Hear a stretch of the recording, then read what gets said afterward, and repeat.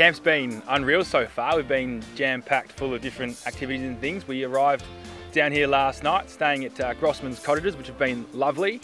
Um, did a few activities last night. We uh, played a little bit of table tennis, basketball and, and bocce, I believe, Hendo. We did. Yeah, um, which is all good fun. Um, up early this morning down on the beach, little recovery session, Hendo. Um, and a few little different things, uh, line meetings and, and, craft. We've been putting an emphasis on learning our team values this year, game plans and, and structures and whatnot. Um, and we've just been had some lunch and getting prepared for, for a practice game this afternoon. So we're in uh, full swing uh, down here in Torquay. Uh, so yeah, it's probably been slightly more laid back than the uh, Choco Williams camps.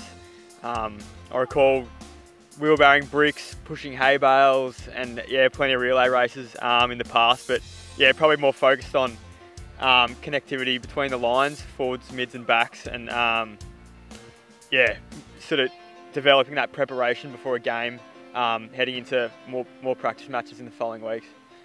Pre-season's been great so far. Um, a lot of new faces down amongst the group and um, some new coaches as well. So we've been, been working hard to implement new game plans, new, new um, drills and things like that, um, sort of highlight how we want to play throughout the year. So um, we've been working hard, um, but it's been great fun. Uh, the boys are getting really close over the pre-season and we're just looking forward to getting into some match play now. So can't wait.